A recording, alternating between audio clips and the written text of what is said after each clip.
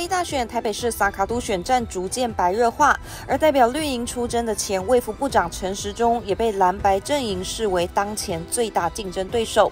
面对满天飞的选举口水攻击，以及蒋万安与黄珊珊越来越战斗化的选战打法，陈时中独家做出回应。其实我们现在刚刚看到新闻上，你遭受到对手很多的攻击，你自己最讨厌那个哪一种？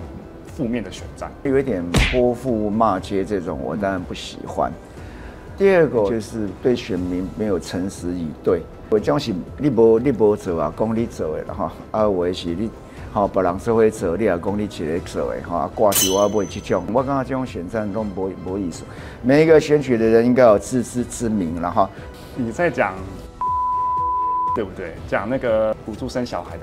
那对你问我哈，讲就当然是以最近的例子了哈。我们两个对手黄珊珊跟蒋万安，每个人都不由得同把你当成是最大的对手。我知道蒋委员的形象就是这样子，哈，他就是一个。好，那如果我建议他现在不要变成战斗型，跟他的形象相冲突。那到底是怎么样才是对他的选举是好的？恐怕要进一步的思考。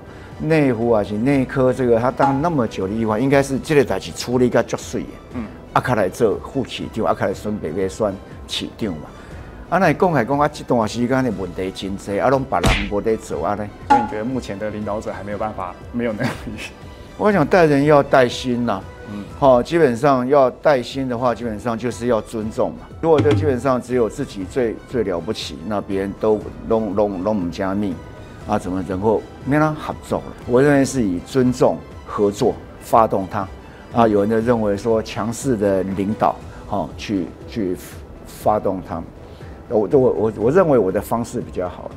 想知道更多精彩内容与独家内幕，敬请锁定本周五自由追新闻频道完整版。关我什么事？别忘了帮我们按赞、订阅并开启小铃铛哦。